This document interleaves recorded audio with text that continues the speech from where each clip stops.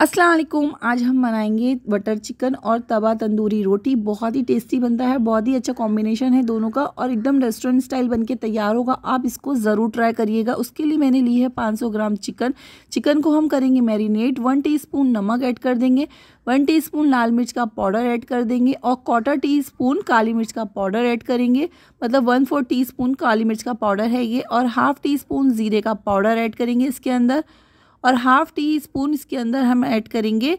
अब गरम मसाला पाउडर गरम मसाला पाउडर ऐड करने के बाद हम इसके अंदर ऐड करेंगे वन टेबल स्पून अदरक लहसुन का पेस्ट अब हम ऐड करेंगे half lemon juice lemon juice इसके अंदर ऐड कर देंगे और हाफ़ टी स्पून इलायची का पाउडर वो हम इसके अंदर ऐड करने के बाद आप इसके अंदर थोड़ा सा फ़ूड कलर भी डाल सकते हैं। ऑप्शनल है, आपकी मर्ज़ी आप उसको ऐड करना चाहें तो कर लें, नहीं तो उसको स्कीप कर दें।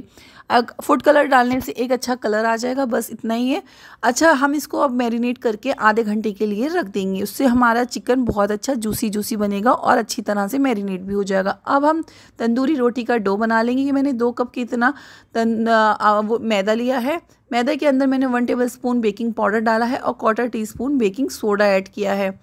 अब हमने इसको अब डो, अब हम इसको डो बनाएँगे दूध के साथ में। ये मैंने गुनगुना दूध लिया है, एक कप के इतना। अब दूध के अंदर हम ऐड करेंगे वन टी वन टी हम शक्कर ऐड कर देंगे और हम इसके अंदर ऐड करेंगे वन टीस्पून के उतना नमक ऐड कर देंगे और तीन टेबल स्पून हम इसके अंदर दही ऐड कर देंगे और वन टीस्पून हम इसमें कुकिंग ऑयल ऐड करेंगे, उसको हम अच्छी तरह से मिक्स कर लेंगे। मिक्स करने के बाद अब हमने इसी दूध जो हमने ये तैयार किया है, हम इसी से इसका डो बना लेंगे। थोड़ा थोड़ा इसके अंदर ऐड करते रहें और अच्छी तरह से इसका एक डो बना लें। जब ये डो बन के तैयार हो चुका है, देखिए, अब हम इसके अंदर, उसके ऊपर थोड़ा सा ऑयल लगा के अब हम इसको छोड़ देंगे आधे घंटे के लिए। कवर कर दें अच्छे से, कोई कपड़े से, किसी भी चीज़ से, आप इसको कवर करके आधे घंटे के लिए छोड़ दें। जब तक हम ये, जो हमने चिकन मैरिनेट की थी, हम उस चिकन के पीसीस को फ्राई कर लेंगे। अभी हमने फ्लेम को रखना है हाई फ्राई करने के टाइम पे हमने फ्लेम को हाई रखना है।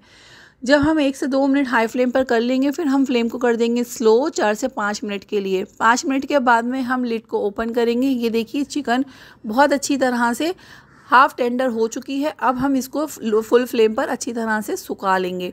मतलब इसके अंदर एक ग्रिल मार्क्स आने तक हम इसको फ्राई कर लेंगे। ये देखिए अच्छे से ग्रिल मार्क्स आ चुके हैं। अब हम पैन के अंदर ऐड करेंगे टू टेबल स्पून के उतना बटर ये मैंने तीन मीडियम साइज़ की प्याज ली थी, इसको मोटा मोटा सा कट कर लिया है, वो हम इसके अंदर ऐड कर देंगे। और बारह से पंद्रह काजू लिए थे, ये भी हम इसके अंदर ऐड कर देंगे। ये मैंने दो लार्ज साइज़ के टमाटर लिए थे, उसको भी हमने इसके अंदर ऐड कर देना है, और तीन हरी मिर्च ली हैं, वो भी इसके अंदर ऐड कर देना है। हम इन सारी चीज़ों को एक दो, एक से दो मिनट के लिए फुल फ्लेम पर अच्छी तरह से फ्राई करेंगे, फिर हम इसको स्लो कर देंगे पाँच मिनट के लिए, ताकि प्याज और टमाटर अच्छी तरह से सॉफ्ट हो जाएँ। हमने इसके अंदर कोई पानी ऐड नहीं करना है। लो फ्लेम पर छोड़ देना है। टमाटर अपना पानी रिलीज़ कर देंगे और वो अच्छी तरह से सॉफ्ट हो जाएँगे। अच्छा जब वो ठंडा हो जाएगा, तब हम इसको मिक्सी जार के अंदर डाल के पीस लेंगे। अब हम उसी पैन के अंदर हमने ये दो टेबल स्पून बटर ऐड किया है और दो टेबल स्पून ऑयल ऐड किया है। वन टेबल स्पून कितना अदरक लहसुन का पेस्ट ऐड करेंगे, उसको अच्छी तरह से फ्राई कर लेंगे जब तक उसकी रॉ स्मेल नहीं निकल जाती। वन टीस्पून कश्मीरी लाल मिर्च ऐड करेंगे, कश्मीरी लाल मिर्च से बहुत अच्छा कलर आ जाएगा आपके बटर चिकन में। और वन टेबल स्पून धनिया का पाउडर हाफ़ टी स्पून ज़ीरे का पाउडर थोड़ा सा नमक ऐड करेंगे क्योंकि हमें मसाले में भी नमक चाहिए। इस तरह से हम इस मसाले को अच्छी तरह से भून लेंगे। भूनने के बाद ये जो हमने प्याज, टमाटर, काजू, हरी मिर्च का पेस्ट पीसा है, हम इसको इसके अंदर ऐड कर देंगे। इसको हमने अच्छी तरह से फ्राई कर लेना है। मतलब दो मिनट फुल फ्लेम पर इसको फ्राई करेंगे। इसी मिक्सी की जार के अंदर डाल के हमने हाफ़ कप कितना पानी ऐड कर दिया है इसके अंदर।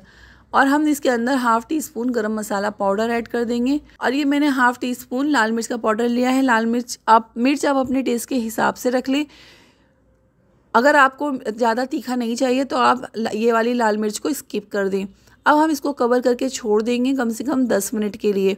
दस मिनट में मसाला बहुत अच्छी तरह से भुन जाएगा और आप बीच बीच में इसको चलाते रहें एक से दो बार। मसाला देखिए भुन चुका है, अब हम इसके अंदर ऐड कर देंगे ये जो हमने चिकन फ्राई की है, हम इसको इसके अंदर ऐड कर देंगे। इसको अच्छी तरह से मिक्स कर लें। मिक्स करने के बाद हम इसको कवर करके छोड़ देंगे पाँच मिनट के लिए। पाँच मिनट में ये जो मसाला और चिकन है वो एक दूसरे से अच्छी तरह से कोटिंग हो जाएगी।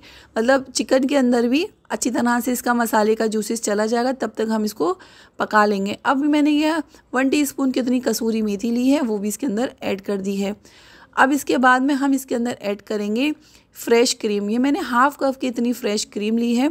इसको ज़रूर डालिएगा, बहुत अच्छी बटर चिकन आपकी बनके तैयार हो जाएगी, एकदम रेस्टोरेंट स्टाइल बनेगी। आप एक बार ट्राई करेंगे तो आपको बहुत अच्छी लगेगी ये।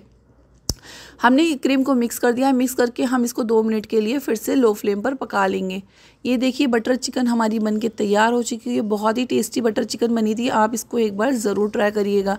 अब हम थोड़ा सा हरा धनिया डाल के इसको गार्निश कर लेंगे। अब हम इसको एक से दो मिनट पका लेंगे। पकाने के बाद हम फ्लेम को कर देंगे ऑफ़ अब हम जब तक अपने तंदूरी रोटी बना लेते हैं। ये देखिए, डो को हो चुका था आधा घंटा, अब हमने इसका कपड़ा हटा दिया है। अब हम इसको अच्छी तरह से एक से दो हाथ लगाकर अच्छा अब हम इसकी बना लेंगे रोटी। रोटी हमें वही साइज़ में रखनी है जिस तरह से हम बनाते हैं। इसको ज़्यादा पतला या मोटा नहीं रखना है। एक रोटी के साइज़ में आप इसको बना लें। ये देखिएगा, मैंने इस तरह से एक रोटी बना ली है। अब हम इसके ऊपर लगाएँगे कलौजी। कलौजी लगा देंगे और हम इसके ऊपर लगा देंगे थोड़ा सा हरा धनिया। उससे एक अच्छा लुक भी आ जाएगा और खाने में भी ये अच्छी लगती है। तवा गर्म हो चुका है, अब हम तवे के ऊपर थोड़ा सा पानी छीटा मारेंगे पानी का और पानी का छीटा मारने के बाद हम इसको रोटी को डाल देंगे। अच्छा फ्लेम को हमें एक मिनट के लिए फुल रखना है, फिर हमें फ्लेम को कर देना है मीडियम। अच्छा एक बात और, अगर आपकी रोटी सेकने के टाइम पे तवे से गिर जाती है तो परेशान ना हो। आप उसको चिमटे से सेक लें, है ना? आप उस तरह से भी सेक सकते हो। ये देखिए, कुछ इस तरह से तवा रोटी बन के तैयार हो जाएगी। और मेरी वीडियो पसंद आई है तो प्लीज़ लाइक, शेयर, सब्सक्राइब करें। अल्लाह हाफिज़।